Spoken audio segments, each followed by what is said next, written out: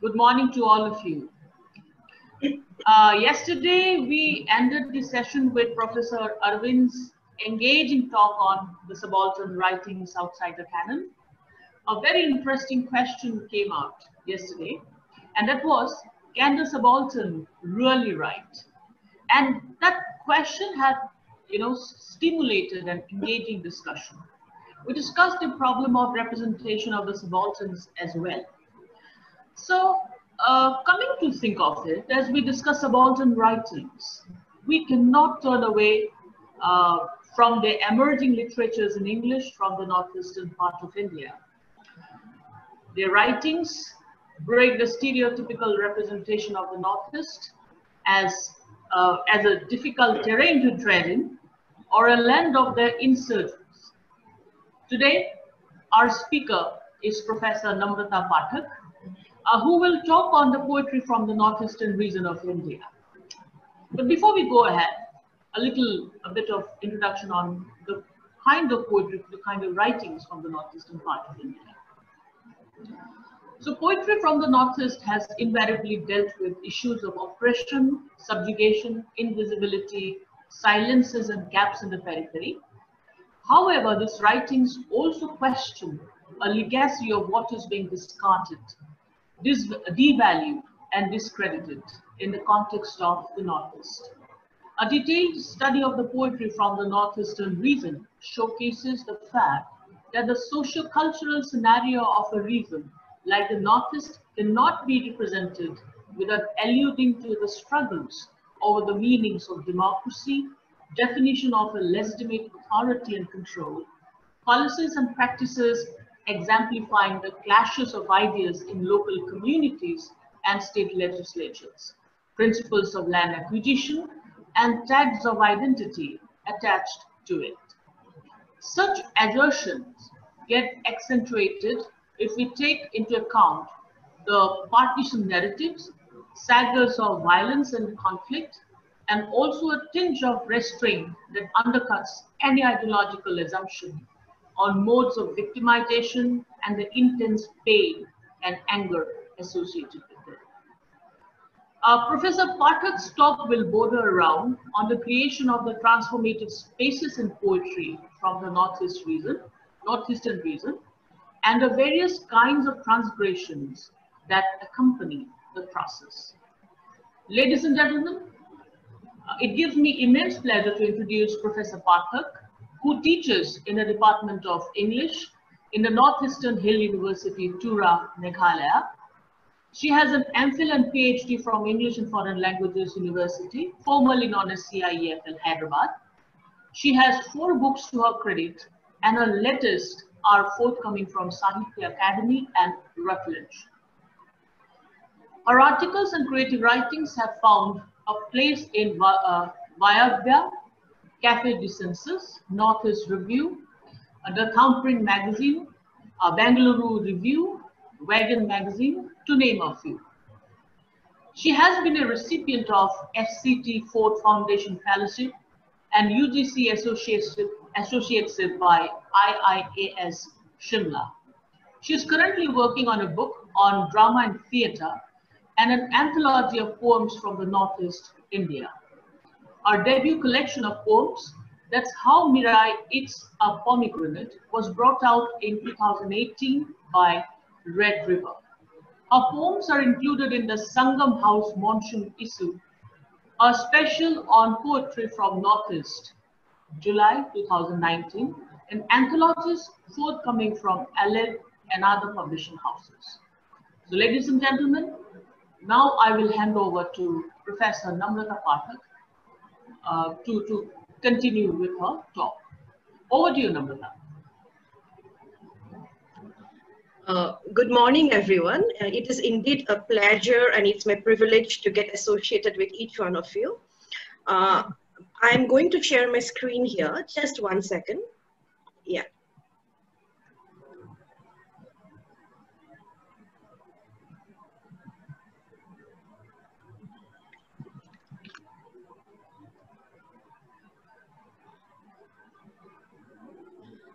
Uh, well, uh, the title of my uh, talk is Transgression and Transformation, uh, in literature, an overview of select poetry from the Northeast. Well, uh, the first thing that really strikes me here is the fact that it's really, really problematic to define the cluster of states that we term as the northeastern states typically, like when we talk about the homogeneous definitions, right, that we usually tend to stick to. So we club the states together, we club the sentiments together, we club the social modes and values together of a particular zone of area that is termed as the fringes or the periphery. And when the idea of definition itself is problematic, when naming is based on the axis of selection and obliteration, so how and in what way can we do justice to this particular nomenclature called poetry from the Northeast? Now, my talk is more about throwing up certain insights and actually throwing up certain series of interrogations and I would just try my best to problematize some accepted norms that are very much prevalent and afloat when we usually discuss poetry from this particular area called the Northeast. Now, there are certain allusions or there are certain terms that we invoke when we try to define what poetry is or what kind of poetry is produced in this zone called the Northeastern terrain. Now, poetry uh, well, sorry, uh, poetry by certain writers here like Robin Ngangom, Temsula Ao, Mona Zote, Nabina Das, Sumana Roy, Nitoo Das, to name a few. So poetry, according to these writers, is a very, very intense mode of retaliation. It's all about answering back. And it's a very very you know very very interesting way of mixing up diverse ingredients. And the stance that all these poets take is of course a very very fiery temperamental and liberating kind of a stance because this is post-colonial in vein and because they try to subvert the accepted norms. And therefore we can say that the poems that I'll be taking up today to define what poetry is. So these poems are very, very liberating in fashion and mode. And also I'm talking about coagulation of a certain specific idea. And what kind of a coagulation is this? Now we are talking about assimilation of multiple voices and the two writers that I am invoking today, uh, Nabina Das and Nitoo Das. So both of them, they, they employ this particular technique of polyphony where they mix up voices, multiple voices, the voices of the downtrodden, the voices of the subaltern, the voices of the voiceless within quotes. And they make the space a very, very polyphonic space, which at once is liberating and also it alludes to the dimensions of heterogeneity of these kinds of writings from the periphery. Now, the writings from the Northeast interrogate the canonical text, the elitist practices, and the heterosexist assumptions of culture. Now, not only this, now these writings question a legacy of what are being discarded, devalued, and discredited in the context of the Northeast. Now, before I move to the other uh, slide, now this is a particular aspect that we need to toy with. And the aspect is this, that these writers produced or disseminated this particular chunks of knowledge and when it comes to knowledge production, we need not forget that this is produced at the times of administrative high-handedness, during the turmoil created by certain insurgency and counter-insurgency movements, and also at the same time, we have to talk about the meanings of democracy in a war-torn area, the definitions of legitimacy, of proper governance, and also at the same time, we need to know about the crisis and struggles about land acquisition and how the tags of identity are attached to a particular demographic space. So these uh, counter hegemonic alliances would be woven into the fabric of my talk. Now, uh, well, uh, the first thing that we need to understand is the fact that poetry has to be sold. Now, the representation of a region like the Northeast is aligned with diverse systems of knowledge production. Now, what does it mean? It also means that the writers need to be heard and they also have to sell their products in a national and global market. And all of us, we are aware of the fact that certain pieces sell and certain pieces do not sell. And there are certain yardsticks to judge what is a piece of successful writing because the writing has to find a particular readership. It has to cater to a particular group of people. So how does it happen? And what are the sellable ingredients of the Northeast? There are certain publishing houses like Penguin, Aleph, Routledge, to name a few, were quite interested to publish writings from the Northeast. Why? For whose interest? Is there a particular motive behind that act of popularity? Certain writers are eulogized. Certain writers are put at the pedestal or hero worshipped. At what cost? Is it because of the fact that violence is sellable?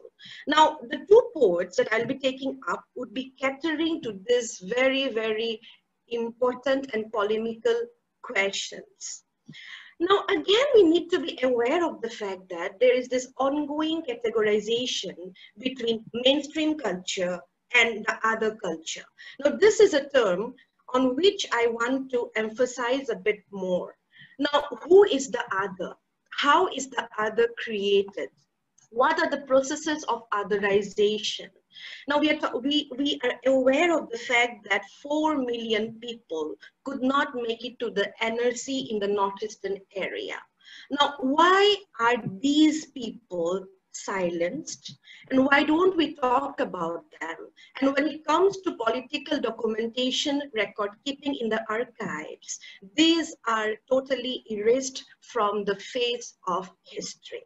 Now, what is the fate of these people?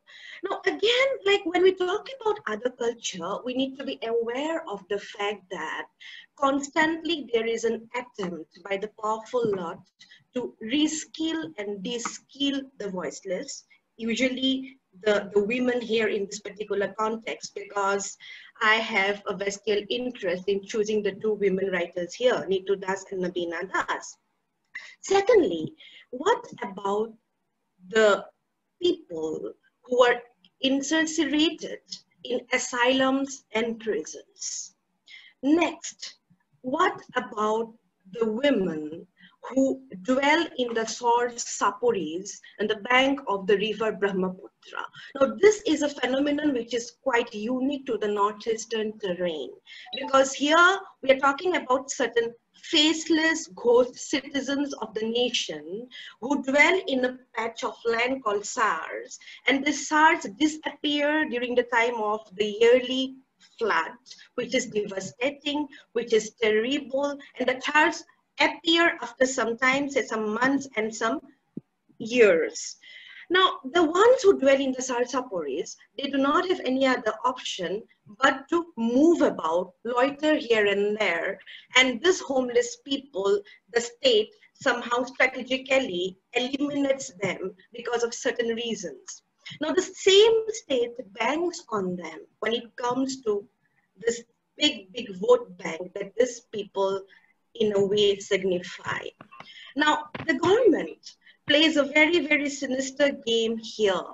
Now, these people are needed when the government wants a kind of political electoral support from this lot. But when it comes to the egalitarian principles of the society, when it comes to doing certain substantial and worthwhile stuff for their democratic rights, for their freedom, for their, you know, some kind of like, like mingling up in a particular you know, space. You call it the national space, right? You call it the country, the way they belong to that space. How and in what way they belong to that space. Now, what are the criteria for which they should be called the proper citizens of Assam? So when it comes to these questions, the government always keeps mum. Now, these two writers that I'll be taking up, they talk about this very, very dense and political issues, and poetry becomes a breeding ground for resistances, for different modes of resistances for different kinds of retaliations. So it's a zone which is used for answering back. Well, uh, in this context or in this vein, uh, I want to put a particular like paragraph from a very, very important book uh, called the Anthology, the Oxford Anthology of Writings from the Northeast by Tilottoma Misra. It's an edited book. Now, Tilottoma Misra in this vein contents the main waves of cultural invasion that have wrought significant changes in the literary world of the region originated in the Bhakti movement followed by the various reformist dispensations of the 19th century, colonialism, and the Christian missionary activities that accompanied it, and the new culture of development that has become a part of global culture. Each of these encounters resulted in different forms of resistance as well as appropriations. The clash of cultures has often led to the loss of traditional forms and the adoption of new cultural icons that threaten the existing ones. So in this context, I want to um, allude to a particular poem uh, called When the Prime Minister Visited Shillong, the Bamboo Stood in Silence by Kynpham Sing Nongkynrih, who happened to be a renowned poet based in Shillong, Meghalaya. Now, in that particular poem, Pham laments and the, the, the note of mourning runs through the text, of course. And what kind of a mourning is that? Now, Kynpham says that Shillong is, of course, of course, regarded as a cosmopolitan hub. But slowly there is an erasure of indigeneity. Slowly there is a particular kind of, you know, what do you call that? You call that uh, a, a loss. It's a kind of a cultural loss. It's a, it's a loss of their own matter. It's a loss of their own indigenous matter. And Pham says that when outsiders, within quotes, they come and they just try to be there or when they inhabit Shillong, which is a part of Meghalaya. And they boast, they boast that this place is different. This place is cosmopolitan in vain. And here, like we have you know, a very, very idyllic way of perceiving the bounty of nature. Shillong is beautiful, it's picturesque, it's dotted by pines and the, the blue hills, the hills that change colors. And we have those round plum cherries, teasing you in winter. You have the fresh oranges, no, the, the, the, the tasteful oranges, juicy to the core, and you have the apple red chicks of the kongs. No, it's a welcoming sight apparently. But Kynpham digs deep and he really calls for a kind of negotiation and resolution in the sense that like we invite people right we invite people, but we also at the same time need to be aware of the fact that there is a steep chasm between who an outsider is and who an insider is. Because insiders like us, we do not want those people to come and define identity in their own terms and snatch away our rights or snatch away what is actually our, our say like land, what is actually our own lived experience, or what is our taste of sustenance or our modes of livelihood. So that's Kynpham Sing Nongkynrih. Now he again says that the bamboos, the silent bamboos, they hang their head down and they look up and they realize that the prime minister is here and hence the hulla hullaballo. People are going berserk over him. And of course, there are cover-ups. People are putting on multiple marks to just show him that Shillong is a vista of peace, which it is not.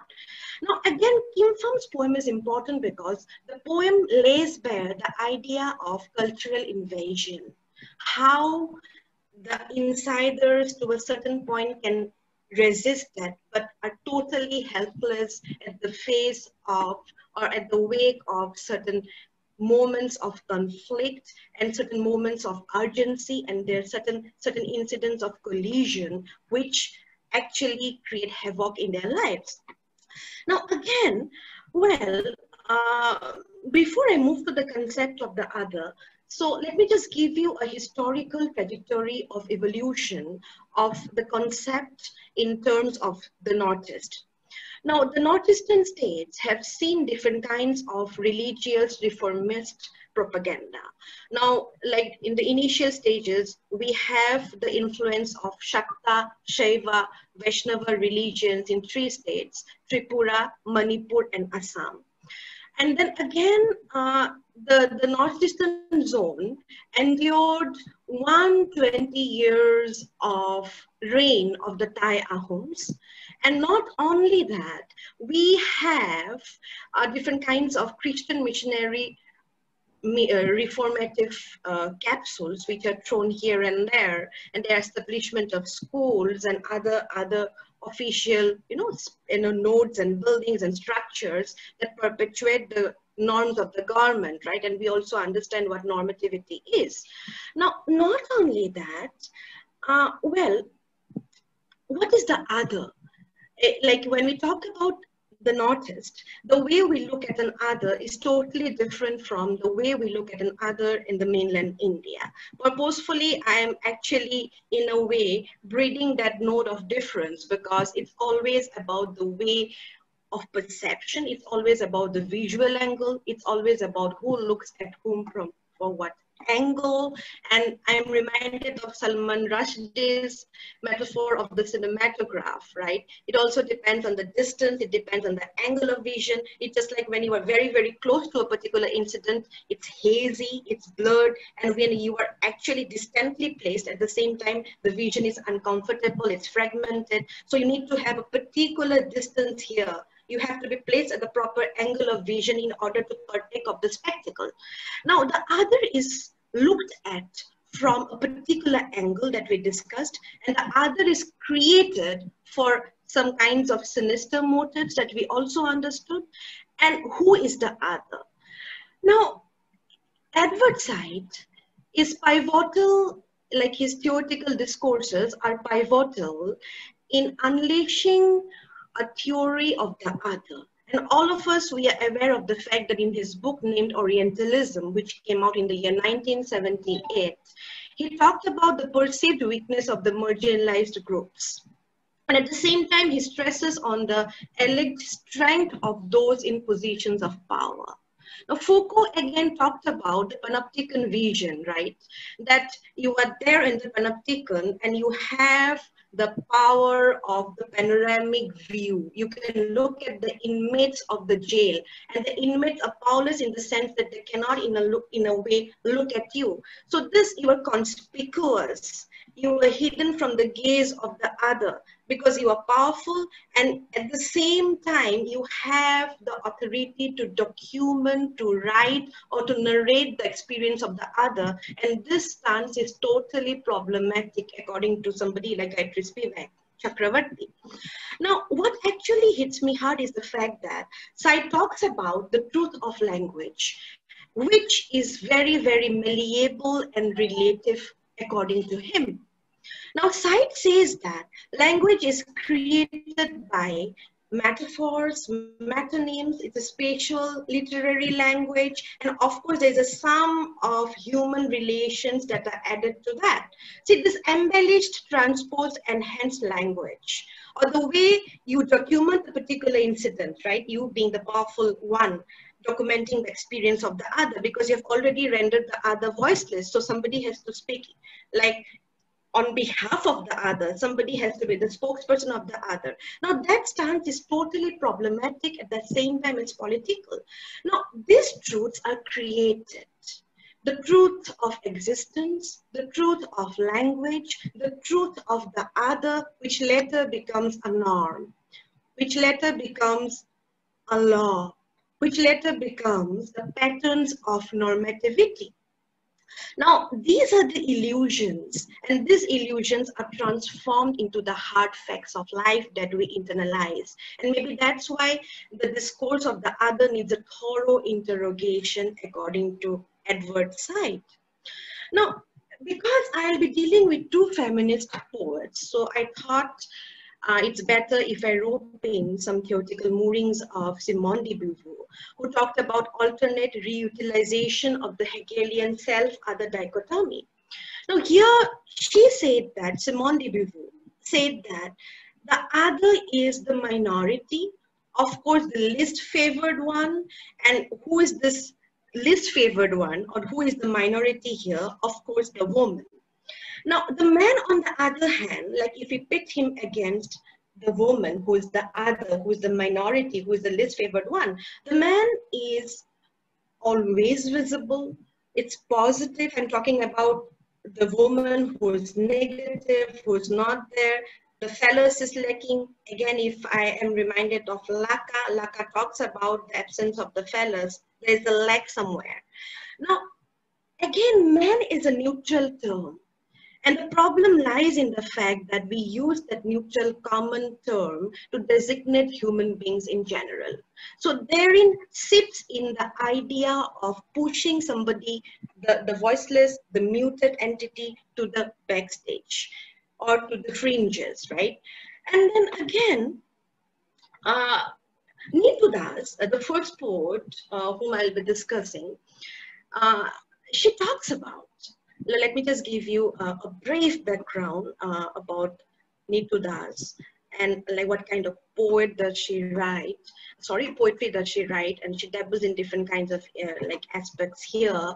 She's a multitasker she's a birther she's a caricaturist and she's a lecturer at the same time uh, she talks about, in her poems, she talks about liminal spaces or in-between spaces.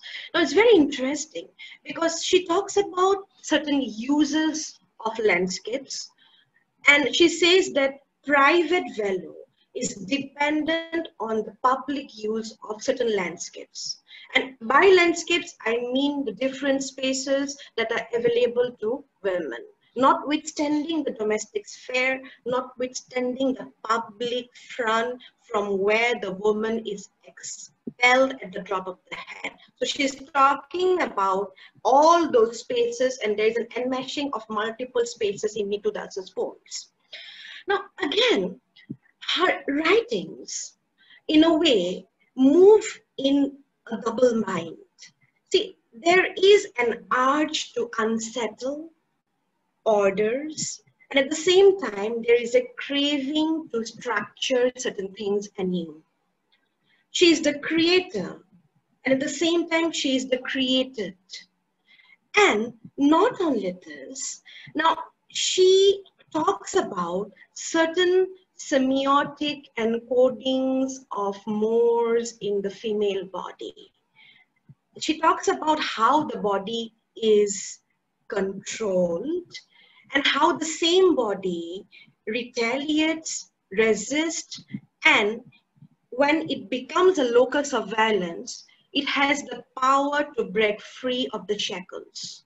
So this is the same body which is a victim and the same body which actually shouts at the top of its voice, screams, creates havoc, lets things go haywire and in a way remodules, reformulates, or restructures the patriarchal codes in her own terms. So the body itself becomes a doubled up, no, doubled up, very, very polyphonic and malleable entity. You cannot pin it down. It's really, really, you know, in a way spills there is a spillage somewhere and there is this sense of access that you cannot cannot hold it to a particular space not within the confines of your home or not you can put it there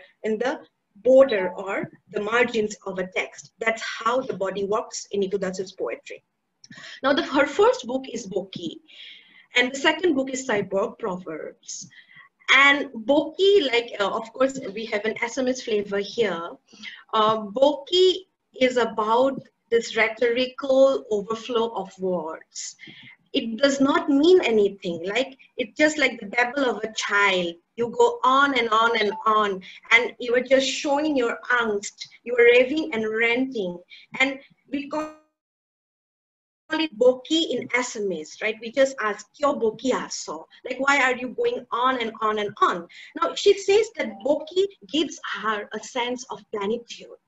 And boki is important because it's also about not being able to tame or domesticate the proliferations. Uh, these are the linguistic proliferations, and this is a creature feminine, right? So this is the language of a woman, and it's just like a fluid. It behaves in that way. It's viscous, and it takes a particular shape. You put it in a vessel, and it becomes what you want it to become, and hence the symbolic overtures of the title Boki. Now, the poem that I'm going to take is from Cyborg Proverbs.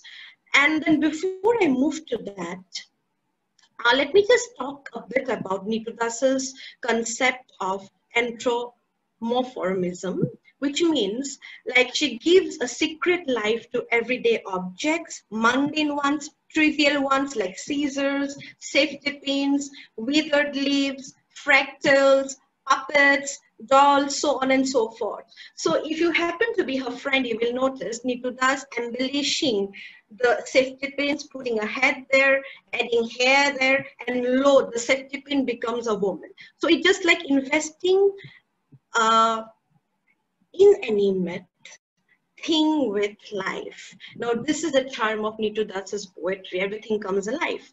Now, let me just take uh, some portions. Now, these are some sentences that I have taken from his poem called Jokini, which means a witch in Assamese. And uh, here I go. And I can't stop laughing. I laugh because I have nothing else to do. My laugh becomes one with the wind and the pollen and the cries of the children. Well, uh, of course, we are talking about a witch laughing, and it's reverberating. The entire area is reverberating, echoing with the sound of this very, very, you know, different laughter, different within quotes, abnormal within quotes, laughter of the witch. She's the Jokini. Of course, she's not a regular, stereotypical woman. She's the other here. Now, here, what is the metaphor of laughing.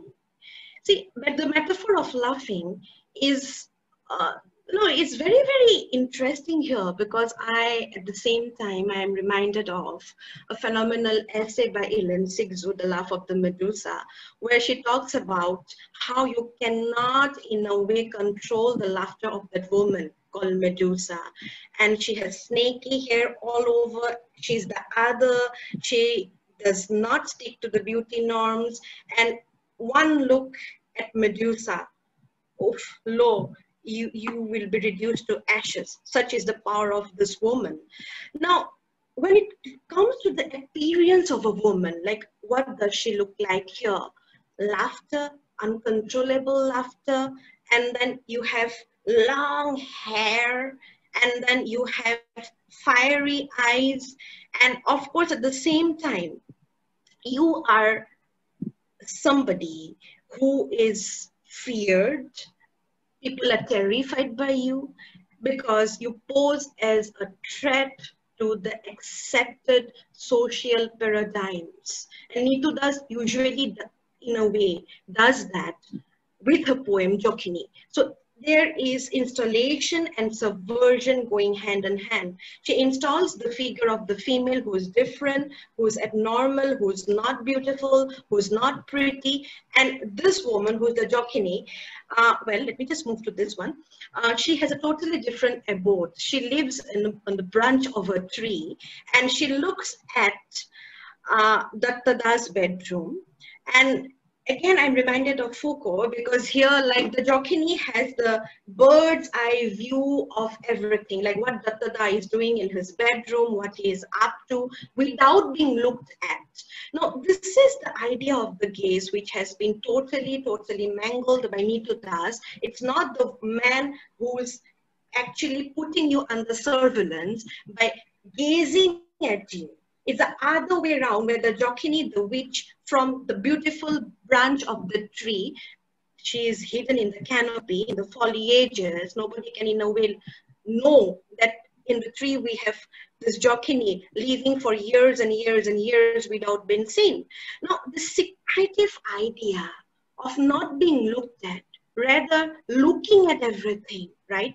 So it brings to the fore Nitoo Das's ways of unsettling the reader's complacency. She, she renders the reader a very, very, you know, what to say, um, thinking, intellectually active, not passive person who is engaged with her ways of documentation, with her ways of writing. Now, at the same time, well, uh, let me just move to the other um, slide here. Uh, this is again um, from Nitoo Das. Now, the title of the poem is Against Hair, and uh, it was published in her collection called Cyborg Proverbs, which was brought out by Poetrywala two years back. Now, I'm just reading uh, the sentences here because I find them quite interesting. Against hair. She once told me she never combed her hair, knotted knee length, lies rhythm. Hair that could decode all stories. Her hair is twice sung and twice surrender. The split ends are tributaries. Dibang, Tameng, Dhonsiri, Subansiri, the dandruff, stardust, the gray, filaments of the day. Now you must have noticed that this witch, of course, this is a part of a witch series. So this witch carries the rivers, the tributaries, the filaments of the day, the stardust, the gray, everything in her hair. So the hair of the which becomes a mini compressed universe. Now, this is the universe which is totally at odds with your world because hers is a non-regulatory world and hers is a world of growth and bounty. Because here we are not talking about trimming the hair. Here we are talking about letting go. So, so in that way, this is very, very interesting.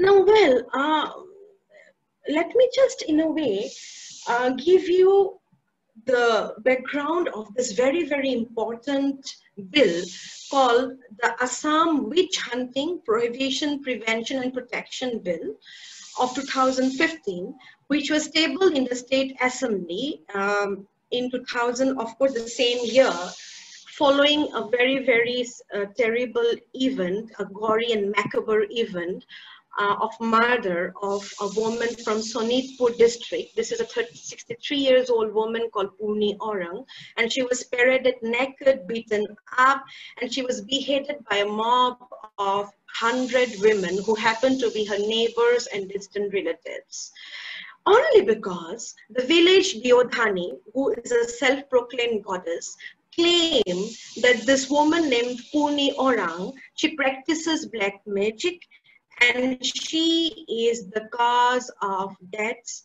and misfortunes of many in the village. Now, this is the background against which Nitoo Das wrote. And her Jokini poems, the poems on the witches, right, the series, worship Purni Orang. And it's celebratory in vain. Because when I asked Nitoo about like uh, the, the, the, the inspiration or the propelling factor behind the creation of such a profound poetic discourse, she replied and she responded, she told me that this is my answer to Puri This is, this is how she should have reacted to the people who tried to ostracize her or who was labeled a fallen woman by the entire village and without any fault of this woman. So this woman was murdered at stark daylight and nobody came to her rescue. So Nitoo Das in a way said that so this witch series, so in those series, Puni Orang is the narrator. The witch narrates here because otherwise the witch was not given a chance to speak her mind. Well, um, Birubala Devi, she is a known figure in Assam, especially for her awareness programs on witch hunting all over. And she is quite successful in sanitizing the masses in the nook and corner of Assam in the rural settings. Now, uh, I'm moving to my last, I mean to say I only took two women poets here. Uh, to my second uh, writer, uh, the women poet, uh, who is Nabina Das. And in her writings, we come across the projections of an outsider. Like she is very, very empathetic to the figure of the outsider. And in an interview in Scroll, she said that she has certain reasons behind that. Firstly, she said that we need to understand the colonial dispensations. And she said that, like the Britishers, were the ones who invited the landless farmers the laborers from East Bangladesh and other famine hit areas to Assam so that they could work in the jute factories. Now, during that time, already the state was reeling under pressure of Jor, epidemic which actually gripped many lives. Many lives were lost. And also like uh, when we talk about civil war and invasion of Myanmar, which caused economic downslide in Assam, and the Britishers wanted people who would be working in those jute factories and other areas and in other spots without demanding a huge amount of money. So actually, according to Nabina Das, the outsider within quotes was invited by the Britishers long time back to settle there to work for the economic benefits of the people, the insiders within quotes, and also like uh, and also she said that we we need to be aware of the fact that the other is here the other is the outsider the other is what the self is not now, again, in this vein, let me invoke Jacques Derrida, who said that the other is indispensable for us. Jacques Derrida went to the length of proclaiming that we are constantly bound to the other. We are obligated to the other.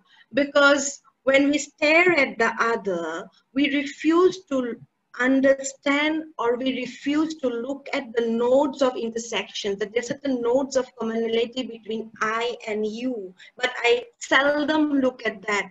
I always look at the aspects attributes modes and values that i do not like and i find all of them in the figure of the other.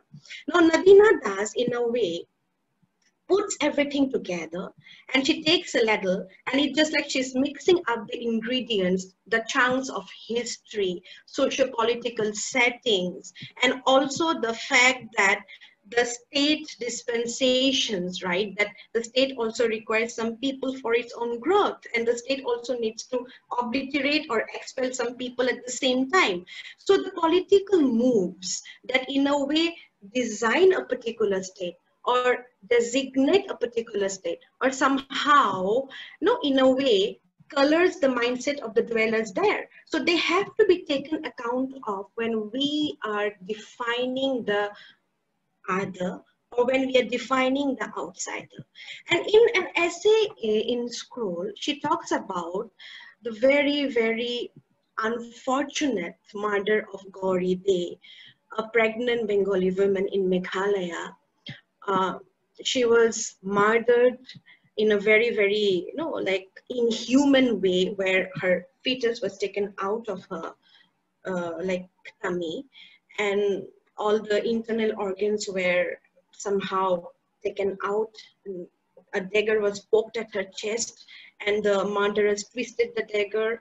So it, the the sight was such such such a terrible one that it would have evoked raw emotions in each and every person in the world. Why? What was her fault? In most of her poems, she questions that. Like, and she wrote a poem on Gauri De as well. Why was she murdered? Only because she was a Bengali? Only because she had her roots somewhere else? And then in the same context, she talks about how and in what way we can never ever find home. What is the idea of home? Home is a very, very abstract concept which we carry here in our heads. Home can never be concrete. Yes, we have this inclination to posit that idea in a typical demographic space, which is erroneous for Nabina Das. She talks about uh, a short story, Mariam, in that article in Scroll, uh, penned down by Jayanta Saikia. Mariam is about uh, a Mia woman uh, who was looking at the border, you know, like uh, of Bangladesh and Meghalaya, and wondering her fate because before her wedding or prior to her marriage to uh, Mia, like in Assam, she was a part of the other part of the country, Bangladesh. Now she traveled, she crossed the borders, the borders are anyway porous. Now she settles there in Assam and she was debarred to cross the borders and meet her parents. Now she looks up and there are rows of clouds there and the, the, there is a flock of birds and the birds cross the borders in a jiffy and she kept wondering like what detained her from being the birds because we should have also done the same it would just take two seconds for Mariam to cross the borders and be there with her parents and stay there for some time. But she was not allowed. Why? She doesn't have a passport.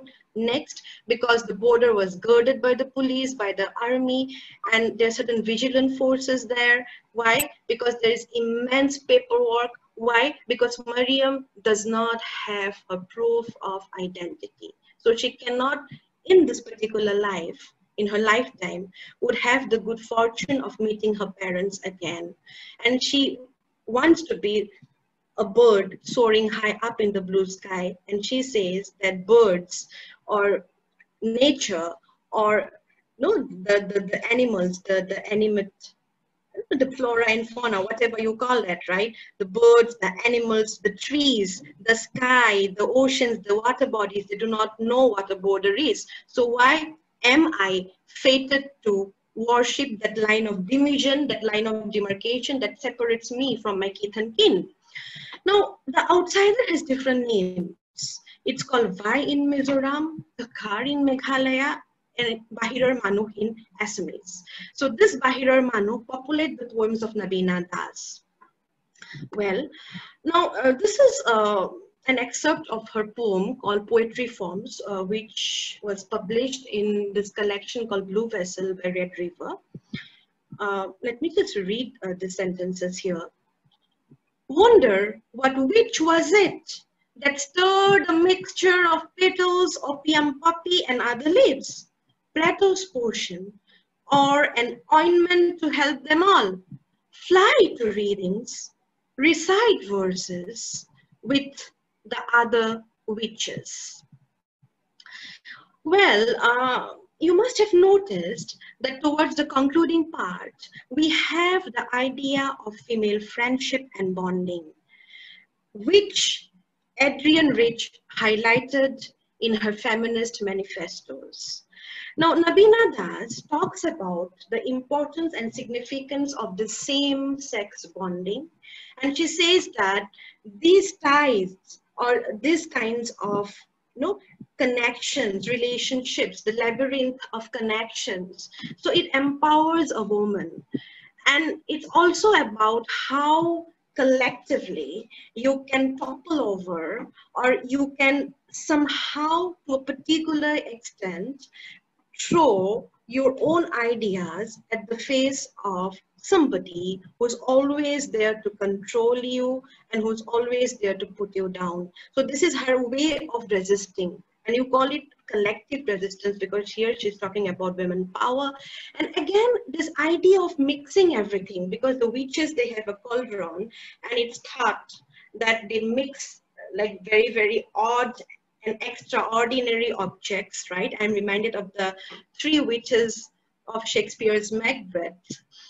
And like this idea of mixing is again a gesture to break that line of division between the insider and the outsider, which is of course a construct. Now, uh, well, uh, this particular poem is taken from Sanskarnama. Can I tell you all this? No, there you go scared to hear a woman out. The way she was grabbed, hurt, and let go to die. Now she names the poem Another Toba Singh. Now here, it's a hypertext according to Nabina Das. It's a hypertext to Saadat Hasan Manto's Toba Singh. And all of us, we have read the short story. We are bowled over by the short story. It has a very, very endearing ending. Rather, it poses lots of questions. It's an open-ended short story. Now, Toba Tek Singh dies in a patch of land which is neither Indian nor a part of Pakistan. Now, there also she's talking about the in-between gray zones of life where you are constantly afloat. There is a chain of signifiers. And here she's talking about a hypersimulation of senses. Because in Nabina Das, you get to see, you get to see a lot, you get to hear, you get to hear a lot, you get to feel, you get to feel a lot. So the olfactory, tactile senses and also the visual paradigms that are steeped into her writings they talk about an overstimulation which you cannot control perhaps. You are a window shopper, you are a stroller in the crowd, you move from one shop to the other, and you partake of all the spectacles. Now that's who you are as a reader when you happen to come across Nabina Das's poetry. Now, again here, uh, in this particular sentence, uh, which I have culled from one of her articles in Firstpost. She talks about how and in what way erasure becomes a norm. She says that a woman has the power to actually take the darkest ink and blot the day. She has the power to reach the sky. She has the power to feed the fire. She burns. She animates, she is a growing organism, she ensnares you, she mesmerizes you, she troubles you at the same time, she poses questions, she's everywhere. It's all about being everywhere. Now, she says, even after that, even after knowing that we cannot be put in a limited, restricted space as women, why do we allow others to do what they are doing to us? Or why do we accept erasure as a norm? Why are we constantly erased, wiped off in the important historical trajectories, in the social spaces, in the important political treatises of the time? Now, that's her question to us. Now, in conclusion, uh, I would like to talk about the self-reflexive engagements that are unleashed in the poems of Nitoo Das and Nabina Das. Now it's all about an aware, self-conscious reader. It's all about installing a different kind of a worldview in the text. It's all about creating zones of confrontation and encounter, so much so that as a reader, you can shake hands with the writer so that as a reader, you can converse with the writer, exchange ideas with the writer. So the idea of limitation, delimitation is blown to the wind. And in front of you, there opens up multiple vistas of knowledge production and knowledge dissemination. And they talk about a land that is constantly pushed away that is constantly misrepresented in media, that is constantly not taken account of when rules are made at the center, or that is constantly suffering in turmoil. I call this a conflict-ridden terrain. And I call the literature produced there as literature of violence, literature of joy at the same time. It's not that we are constantly talking about what is denied to us. It's also about a rich repertoire of orality. It's also about how we are blessed by the folklores, grandmother's tales, or by the stories that breed in different spaces of life. It's also about sustenance. It's also about living and letting the other person live. Thank you so much for your patient hearing. So I come to an end here.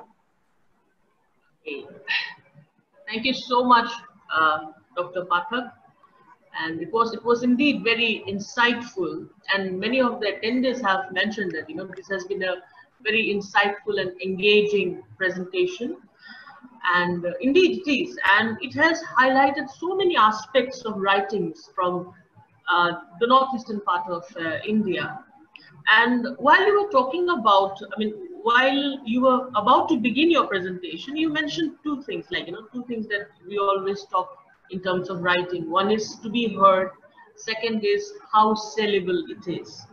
So, you know, uh, keeping that thing in mind, uh, we know that uh, Northeast is a terrain of conflict and many literatures that is produced from, from that part of the country uh, is imbued somehow, is related to uh, conflict and how people have responded to it. And very well in your uh, presentation, you have also mentioned the other aspects also. The conflicts are not within the insurgency, but within ourselves, within in terms of uh, the land, the people, even patriarchy, and how how it affects the women, you know, part.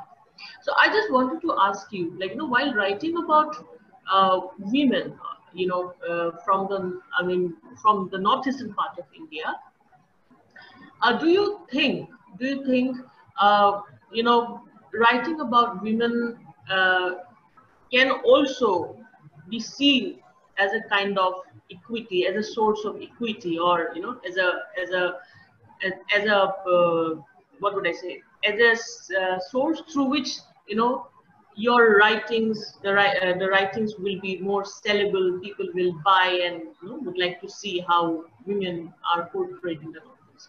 Do you think that way? Are women writings more sellable? They know women more sellable, to be more precise. Right. Uh, thank you, Jyoti, uh, for your question. Well, uh, let me just uh, give forth a particular anecdote here. Like, uh, this is from my first-hand experience.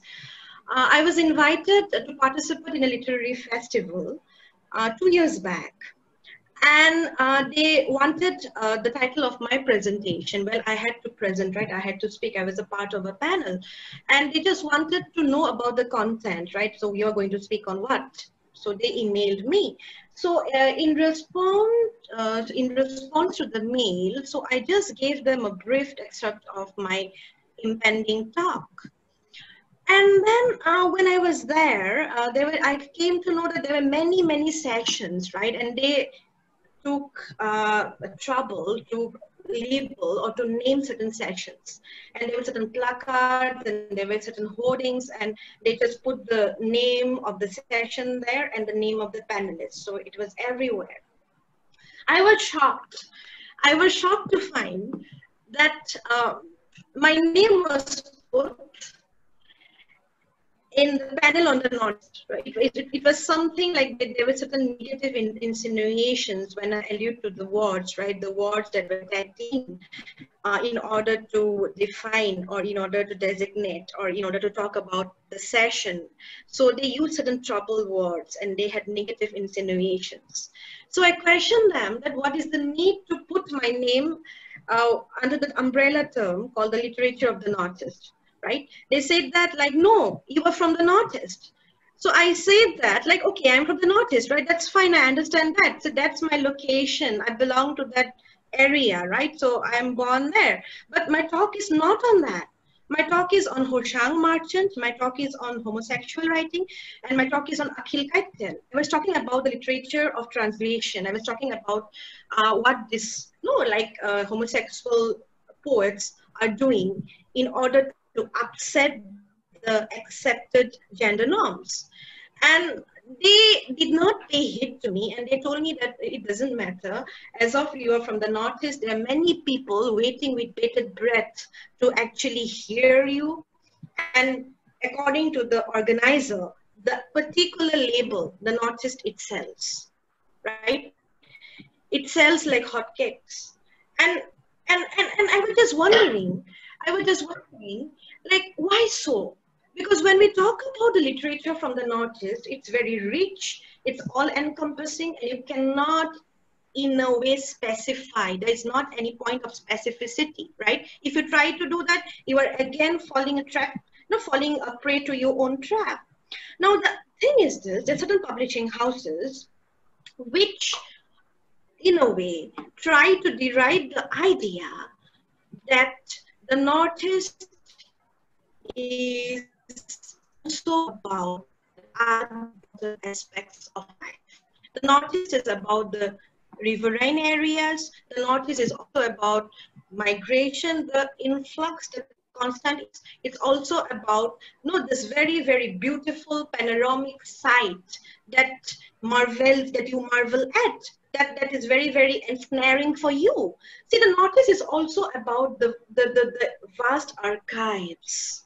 It's also about the cultural, you know, zones which are very, very, what to say, like dense at the same time and invigoratingly rich at, on the other hand. Now, these things are not talked about. Now, of course, there is a market, and of course, there's something called market value. Of course, there is this give and take policy, and of course, there are certain aspects that sell, and there are certain aspects that do not sell. So we cannot, in a way, you know, uh, somehow compress everything and flatten the contours by saying that this is this and this is not this. Of course, there are certain problem areas which we need to highlight here.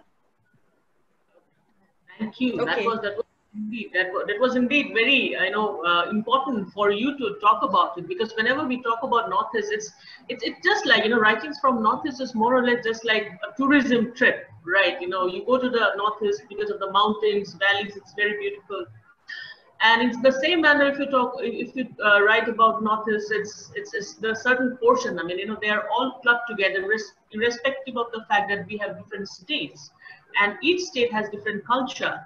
So, you know, clubbing them together and, you know, putting them as a hot cake, you know, people are finding it to be a hot cake. Cindy, thank you so much, Namrata, uh, for, for this beautiful, engaging, you know, uh, talk. And I'm, I'm very sure, I mean, many of our uh, uh, attendees are from some from the northeast, and some of them are from Bengal, and uh, even even I see few uh, few of our attendees are also from Africa. So you know we have uh, what would I say? I mean we have a large number of uh, participants who belong to different spaces. And I believe, I mean, it was indeed very apt. And, you know, we, we started with this talk on poetry from the Northeast, and it will definitely give them some idea. They will come to know. I mean, those who do not know, those who do not uh, know about the you know writings from Northeast will definitely benefit from this, this talk. Thank you, Namrata. Thank you very much.